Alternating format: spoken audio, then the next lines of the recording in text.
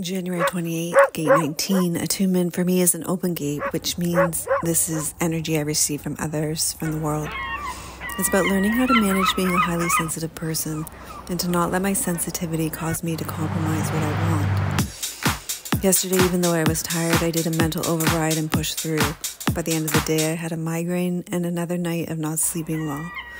And so, gate 19 continues to teach me to keep gas in my own tank attuned to my own needs, to give myself more of what I need.